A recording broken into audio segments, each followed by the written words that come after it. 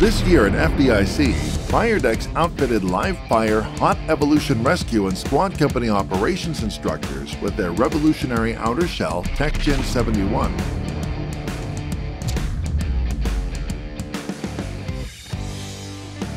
We were in the burn room for the past two days and I didn't feel any heat stress from the impingement of the pack or when the, the gear comes across tight, you know how you get that little burn, I didn't feel any of that with this gear.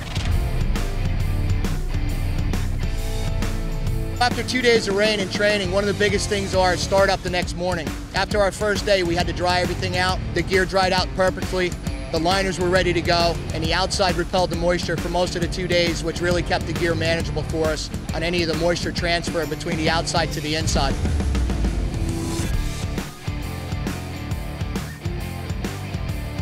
While my men are going in and out of the building, you know, you see them, they walk out, they'll grab the coat, and I'll like kind of pull the coat away from them to get that, that air movement to, you know, cool them down.